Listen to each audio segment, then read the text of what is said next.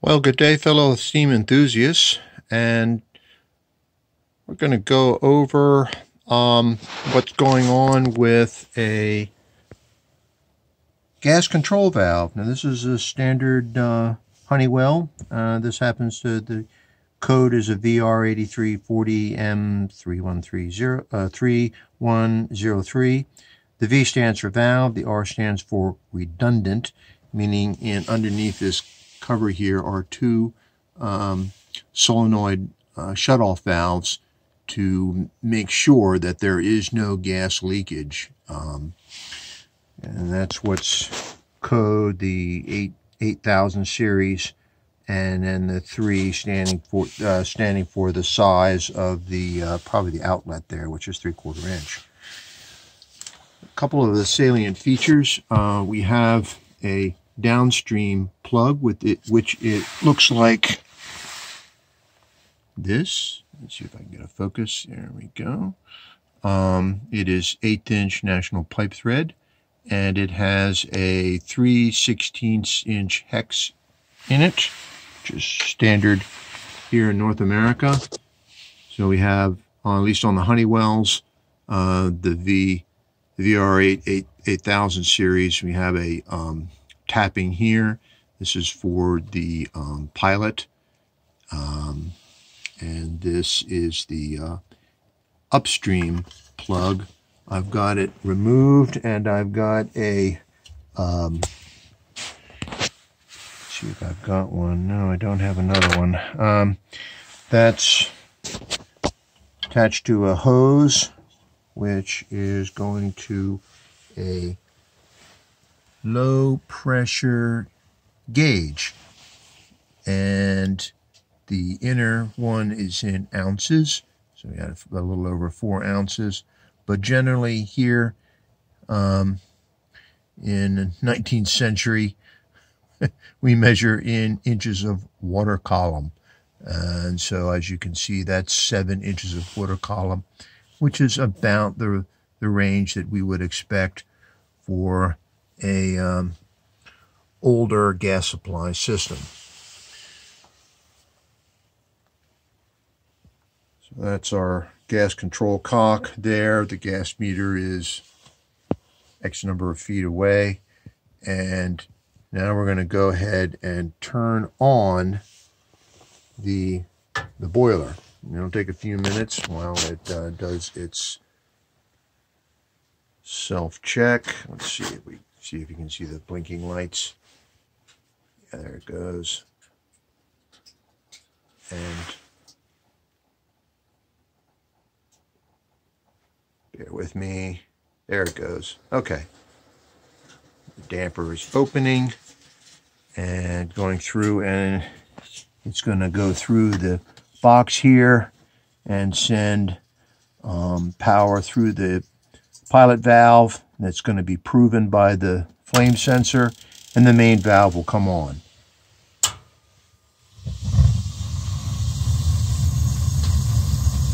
And the pressure at this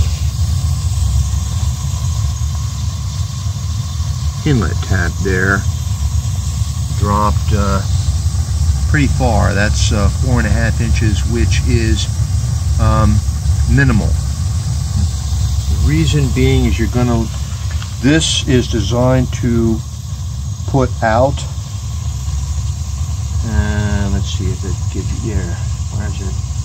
Yes, three and a half inches, and it can be adjusted between three and five um, inches of, of water column but the maximum it should come out is three and a half inches and that's um, on a standard uh, you have another tapping here in this manifold and that's how this is supposed to be engineered. These are engineered with um, specific orifice sizes. 45 is probably the, the, the drill size number of the hole where the gas is shooting into this um, uh, basically Bunsen burner. So there is a one inch water column pressure drop through the gas valve. So if we were to take this tap out um, and uh, set up our gauge, we would see what the actual downstream gas is. Let's go ahead and do that. I'm going to go ahead and turn off the gas. Take that out. You heard the um, safety shutdown. And this has a little screw which I can shut. That's really nice. And I'm going to take my 3 16 hex. I've already had this out. These things are ground in pretty tightly.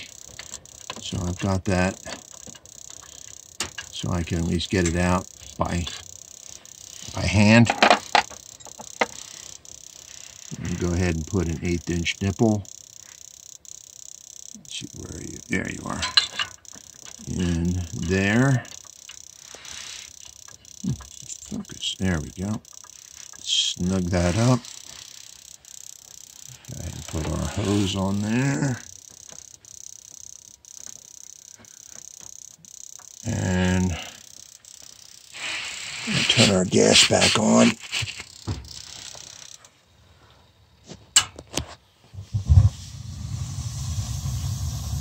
And there is our pressure there, which is, uh, let's see, yeah, a little over, it's almost four, which is too high.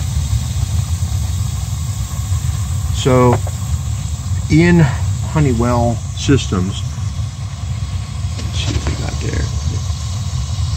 That is the adjusting screw. That's covered over with this cap, which is normally there. I've removed it with a screwdriver, bladed, typical bladed screwdriver. Now you can use a regular screwdriver in there, but uh, the newer ones, you want to probably use a Torx 40. And what you're doing is if you turn it to tighten, what you're doing is compressing a spring, which is actually increasing um, uh, the gas pressure overall. You're tightening a spring, which is controlling a lever, which is controlling the diaphragm. So I'm going to go ahead and turn this to loosen. And I want you, as I'm turning it counterclockwise, we're going to see that start to drop.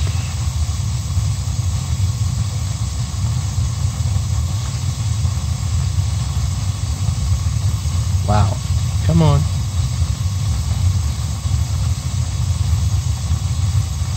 Must have had that screwed in all the way. There we go. There we are. You can hear the, the flame drop there is about three and a half. So if the gas in, incoming gas pressure drops, probably want to downfire it to probably about three. That's that's as low as I'd want to go. That's the bleeding edge right there.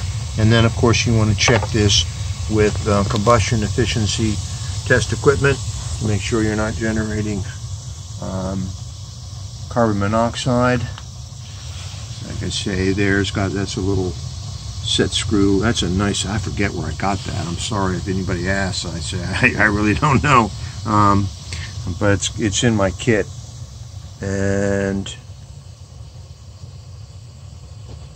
we've got pretty good. Um,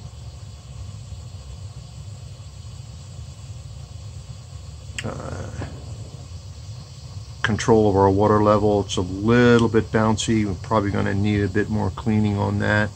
I'm finding that this boiler is pretty sensitive to water level.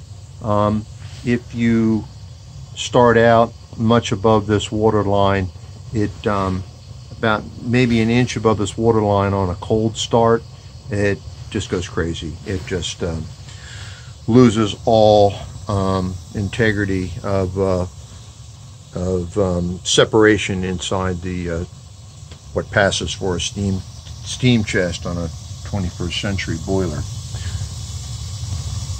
So this video is running pretty long. Um, I hope uh, hope that answers any questions that you may have on setting this up. Uh, I would not advise uh, uh anybody but professionals to uh, mess with this. This is just to show what I do anyway. Um, others may have different techniques or different uh, ways of doing things. I, I appreciate that. And uh, if I'm doing something really crazy, I'm sure you'll let me know. Uh, and again, uh, stay safe out there, folks. And uh, signing off.